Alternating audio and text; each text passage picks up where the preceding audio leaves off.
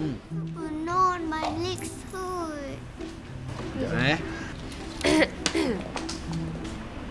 Apa? Kan? Abang bayar? Baju Dina Dina bayar? Alah, abang ni. Dengan Dina pun nak kedekut.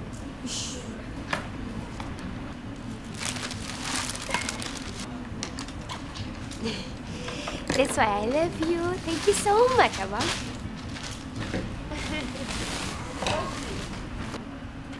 Sweetnya Swan-Puan.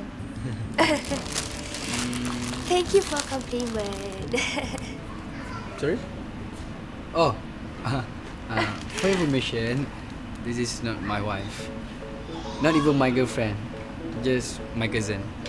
And this is my son. Oh, sorry. Saya tak tahu. It's okay. Thank you. Tunggu tu.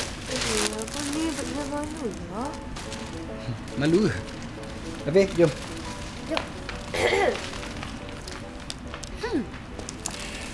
Kau tengok kan betapa sayangnya Abang Is dengan aku? So, kau sebagai babysitter jangan nak perasan lebih, okey? Kau ni bising lah. Suka hati aku lah. Lebih baik kau diam kot aku rasa. Kalau tak, kenapa? Kalau tak, hmm, aku stapler mulut kau. Ada stapler tak, Kak? Tak ada kan? Whatever.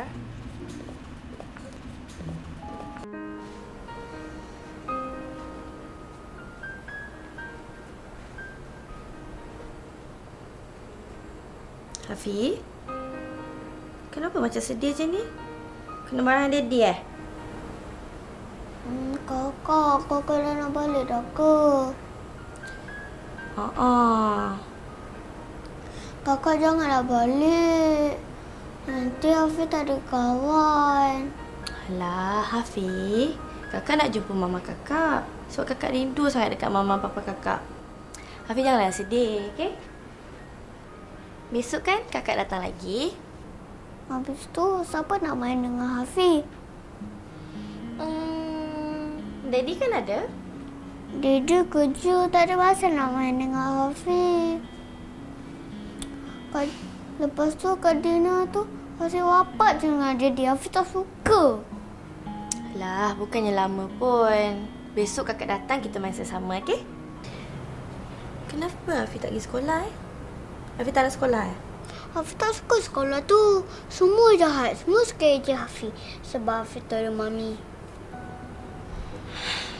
Hafi Hafi jangan pedulikan apa orang cakap Hafi kena bangga tau Sebab Hafi ada daddy Ada Tok Ma Ada Tok Pa Ada Kak Syah Okay Hafi pun tahu kan yang daddy pun sayang saya dekat Hafi So Jangan hiraukan apa orang cakap Hafi pergi sekolah sebab Hafi nak belajar Nak jadi pandai Dan Hafiz ada kakak.